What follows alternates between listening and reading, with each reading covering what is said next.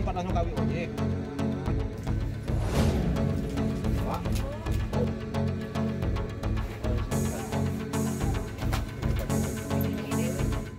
Ya, menurut keterangan sementara itu dari beberapa warga yang nanti akan kita inventarisir sebagai saksi bahwa saksi itu eh, terduga korban dengan pelaku ini lagi memberikan doa kepada eh, pelaku. Lalu kemudian tiba-tiba terjadi penganiayaan seperti itu. Nah, makanya kita masih terus melakukan pendalaman. Eh, yang pertama. Kalau korban yang kedua pertama, dan yaitu saudara Abah Mi. Yang kedua yang berada di lokasi tersebut juga diduga ya, korban kedua ini mengejar pelaku. Sehingga karena pelaku tidak mau. ma- eh, masih membawa senjata tajam kemudian diduga mungkin pelaku sama juga melakukan penganiayaan terhadap korban yang kedua. Bisa saja bahkan ada tadi salah satu warga merupakan teman kerjanya eh, cenderung pendiam pelaku ini. Tidak melakukan hal-hal yang sifatnya menonjol gitu. Seperti itu.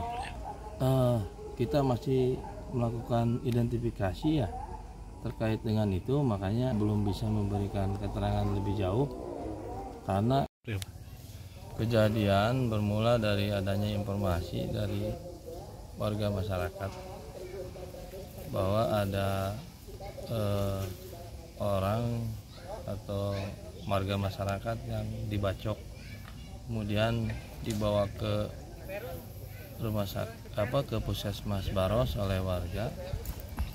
Karena saya informasi juga dari Pak Kapolsek Baros. Kemudian kami langsung menuju TKP dan mendapatkan informasi juga dari warga bahwa terduga pelaku masih berkeliaran diduga membawa masih membawa senjata tajam. Jenis apa dan? senjata tajamnya sejenis diduga sejenis golok. Ada berapa korban dan yang dibacok? Eh, laporan tadi dari warga kami juga belum melakukan pengecekan karena ya korban dari puskesmas Baros harus dirujuk ke rumah sakit Samsudin SH didampingi oleh anggota dari Polsek Baros tadi. Eh, korban sebanyak dua orang. Ini korbannya eh, Tadi hasil informasi dari Kanit Reskrim Polsek Baros Korbannya ada luka di leher Kemudian pada bagian kepala.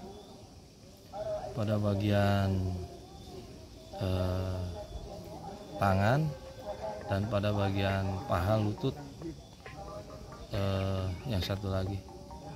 Dan kabar kami masih belum mendapatkan keterangan dari rumah sakit Samsudin.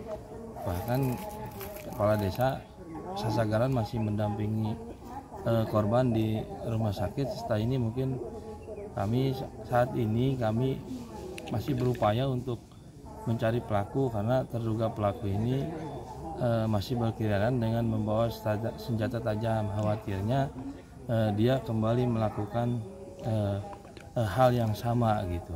Kita kami dibantu warga masyarakat juga untuk mencari keberadaan pelaku karena diduga masih berkeliaran di area lokasi ini dengan eh, diduga masih membawa senjata tajam.